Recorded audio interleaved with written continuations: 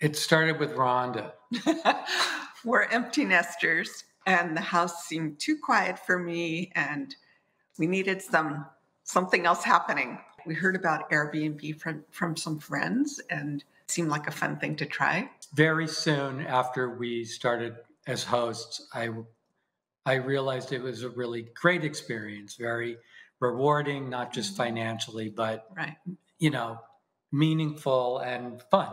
We started really slowly, and Airbnb allows a host to do that easily. And then see if you like it and if you're comfortable with it. And then also, there are a lot of support services to help people on board as hosts.